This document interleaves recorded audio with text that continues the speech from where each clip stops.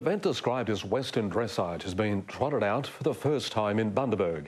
Organisers hope the inaugural Bundy Fun and Reining show will encourage locals to saddle up and give it a go. Riders guided their horses through a precise pattern of circles, their hooves picking out spins, slides and stops. It's just a series of manoeuvres that your horse goes through or you put your horse through to, um, to gain yourself better horsemanship. Paul Sharp is part of the Calliope Sliders. He brought the Fun and reining show to Wide Bay, hoping to increase interest in the sport and local facilities. This is um, a world class venue, so we're trying to promote that more than anything. Ben Ryan says it usually takes 12 to 18 months to train a horse to be show ready.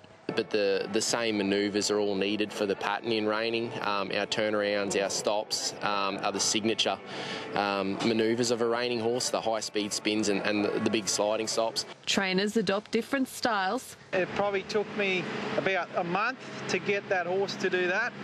I believe it's probably the only horse in Australia doing that at the moment.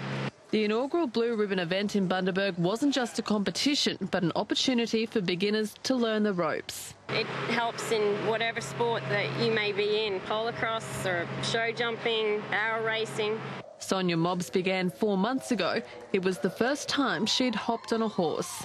I just wanted to get into it from then. It's been a really, really fun time. Anita Theodoro, 7 News. Okay, let's go to the